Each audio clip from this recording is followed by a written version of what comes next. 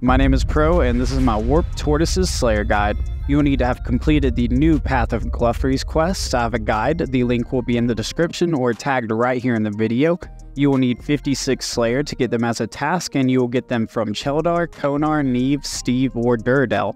The Warp Tortoises will be weak to Mage and Crush, and you will want to pray melee against them.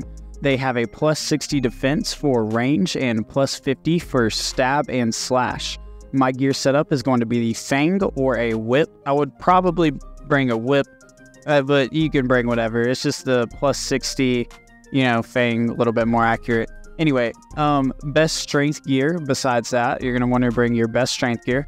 You can use a scimitar, you know, whatever you have, or your best crush weapon, maybe a bludgeon if you have it, that would work bring either a Fury or better, or a Dragon Bone necklace or a Bone Crusher so you can get some prayer XP. You can bring a different helm to switch into if you want. If you're not on a Slayer task, if you're just trying to kill him to get the staff or something, I would bring like a Neitiznot helm or something.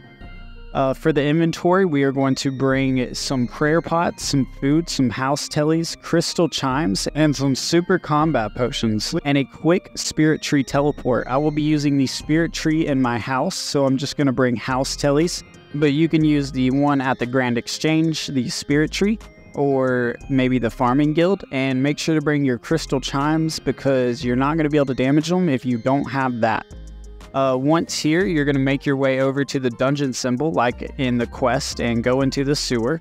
Once inside, you will find a tortoise that you can camp, or you can go up this ladder and find another tortoise, but there's only one, so it's not like the best. Or you can go through both of those areas, go through the Terror Bird area into the U shaped room, go down that ladder, and then you're to find two tortoises that you can just camp and kill one after the other.